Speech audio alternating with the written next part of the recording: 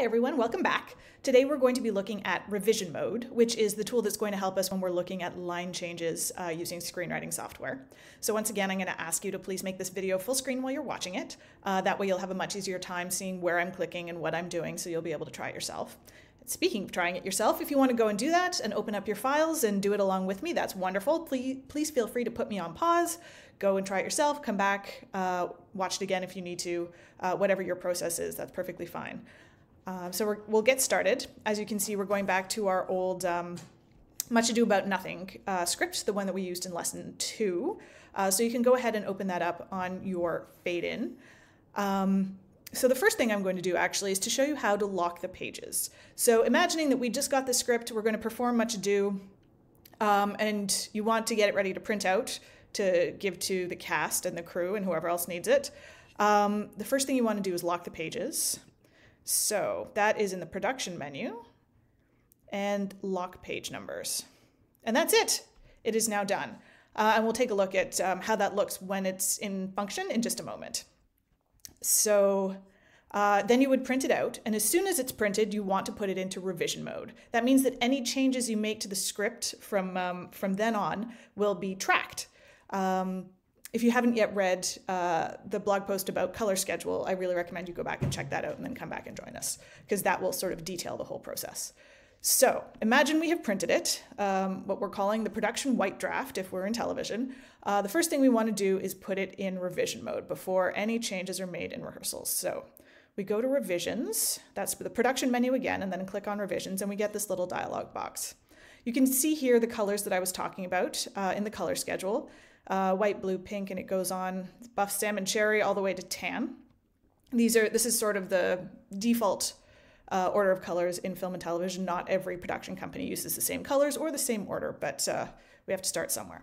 So um, we were in white, and that's already been printed, so that revision is done. Now we want to go to the next one, so we're going to click blue. Um, I'll go and show you how to change these settings in just a minute, but I want to give you an idea of what the function does first, and then we'll look at how to personalize it. So click it on blue uh, and OK. And would you like to relock? Yes. Um, so I often recommend actually saving a version every time you uh, change the revision. So you printed it out, you save the white draft, and then you do a save as, save it as the blue draft, um, and when you finally print the blue changes, then you'll do a save as and save it as the pink draft. Um, you can change the names white, blue, pink to whatever you want later on. So now it's in revision mode. So what does that mean? Let's say on page two, the director's like, oh, the script is too long. We're just going, we're going to cut these lines. I, I'm not even looking for sense, but we're just going to pretend these lines have been cut. Oh, look. So two things have happened. Uh, maybe three. So look, um, we cut some text and the text that was on the lower down on the page is moved up, but nothing from page three has shifted. Uh, so we just end up with this blank space at the bottom of the page. Um, so that way, um, all we need to do, if we if we then need to hand out a new page two with the cut lines, is just print page two. It hasn't affected page three and all the pages that come after it. And one of the things, the ways we can know what uh, pages have changes on them is look it changed to blue. It also put a little star in the margin, so it, um, when you're looking at the page, you know the change happened in here. Um, and it was probably a cut because we've now got some blank space on the page. So the blue is an indicator for us as we're using uh, the program. You can see this page would be blue if you printed it on blue paper. If you print it out, it will not print the blue color. You're expected to have the paper to print it on. This is just a visual indication for us as we're using it uh, that there has been a change on this page. Um, so we're going on and let's say we're going to add a line for Beatrice. Added line for Beatrice. Uh, this is unlikely to happen in Shakespeare, but it, very likely to happen in other kinds of plays. And you can see the text that got pushed off the bottom of the page is now on a page 4a. It did that all by itself. Um, and then page 5 is not changed. So if we wanted to print uh, just the pages that are affected by the change. We'd print 4 and 4a. Again, we've got some little stars in the margin that let us know this is the line where the change has happened. Uh, so that's what we need to pay attention to when we get our new uh, pages handed to us. Um, so yeah, and scrolling through the text, you can easily see which pages have changes on them and which don't. So let's say uh, it's been a couple of days of rehearsal, maybe a week, and we're ready to hand out the new pages. Oh, this is waiting for fade in. There we go, not now. So you can go to File, Print, uh, and I believe revisions is black and white. So you do have the option of printing. You saw some of the, the new text go in as blue, so you could print it with uh, blue text uh, blue text in it, but we're just going to select black and white. Pages here. We can, instead of typing in the pages, which means that we have to go through and say, well, we made a change on page two, we made a, a change on page four and page 4a, you can click revisions. So what do you want to print? You want to print the blue revisions. Uh, I don't have a printer hooked up, but I want to see if I can, yeah. So I'm going to say print to PDF just so we can take a look at what that looks like. So all we did was click one button, print the revisions. Call this, oops, I'm gonna call this blue revision pages and save it. And then I'm gonna go in and I just wanna open this so you can see. We're opening blue revision pages. So what is included in there is a page two, page four, and page 4A. So it did all of that work for us. It knows what pages the changes are on. Um, we just click that, print me the blue, the blue revisions. Um, and it has done that print PDF. You print this one file with three pages in it and you're done. So this is one of the, the best functions that I, um, and I really love it about the screenwriting software. It makes line changes so much simpler. So that is how it works. If you want to get, if there's anything in here that has felt a little fast or you want to get a better understanding of it, um, go back to the It's Time to Talk About Color Pages, uh, the color schedule blog post. That one will have some more explanation of it. And also, you can look at uh, locking pages will change your life because I truly believe it will. Those two blog posts over on the website um, will catch you up if you're feeling a bit lost.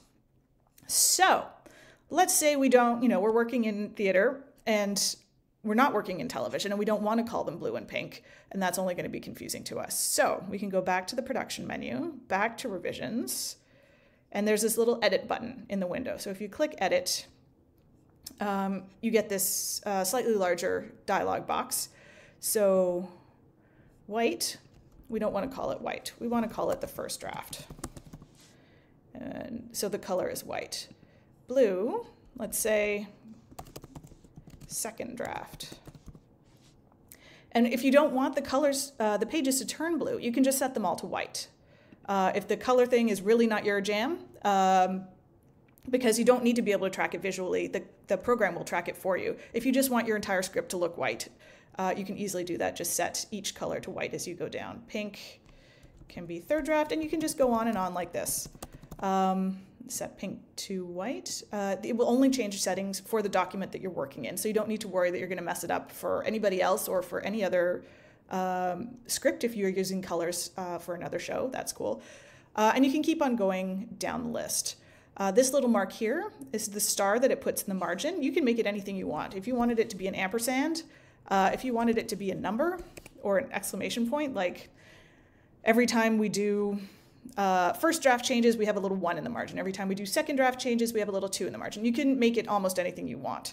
You could probably, I wonder, yeah, you can just type a bunch of things. Um, you could have a whole word in the margin there if you wanted to. And when you've got it all set, I'm going to put the star back. When you've got it all set up the way that you want it, you can actually save these settings. So if this is the way you want it and you're going to do, you know, use the same thing for every show, just like we saved a template with the elements, you can save a template for your colors. So we would save this, uh, and here there's the option. You can also, if you only want first, second, third draft, you could go through and delete the rest of them. You can add more, which is what would happen if in television you were going um, white, blue, pink, whatever, and you get to the end and you need to do uh, second white, you need to do third white, which is not unheard of uh, fourth white, depending on how things are going. You can just keep adding more and more revisions every time you print. So when you print, uh, at, we went and printed our blue pages. So that's the blue revision done. So then you would save that as the blue version, save as a pink version, and then set the revision color to pink. That's the one thing you need to remember. Every time you've printed a set of pages to distribute, part of your uh, routine needs to be save a version and then set the new uh, set your new version up with another revision color. Uh, if you forget to do that, you're going to end up printing old pages and new pages together if you use that revision trick. So then you'd have to work out which ones you already printed and then list in the which pages do you want to print the new one anyway. It gets confusing. So if you can just remember, once you've printed a set, you start a new revision color. It will make your life much simpler. Anyway, we were talking about we want to save these settings because this way you don't need to go in in your prep week and waste time setting it up over and over and over again. You're like, this is my template. This is what I like to call my color changes or my revision changes. Um, you just click save once you've got it all set up. Um, it's got the extension revision set, which differentiates it from the uh, .fade and dot .template that we used for elements. Um, so untitled, so I'm going to call this test because we're just playing around um, test.revision set and uh, save it wherever is convenient for you on your computer. And then, so when you open the next document, uh, let's say okay, and you see because I changed the second uh, blue to second draft, and I made the second draft color. Second draft color is white. The page that was blue here that you could see has now gone white. So that way, your whole script would just uh, look in the same color, and you wouldn't have to mess around with the funky rainbow settings. All right. So we've done that, and I was going to show you, let's start file, new, um, and we were going to go to production, revisions, and see we're back. This is a new document, so it's set back to the default. It's got our colors. Click on edit, and then you can load. Um, there it is test.revision set. So this is the document that, or the, um, the template that we created uh, in our last document. So you just load that in here. And look, it has changed to the settings that we set uh, in our other document. So this way you could just load it up and you don't need to worry about the colors. It will be the same for you every time.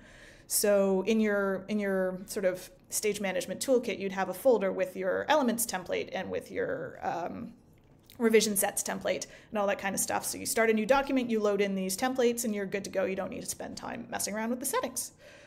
So that is revision mode.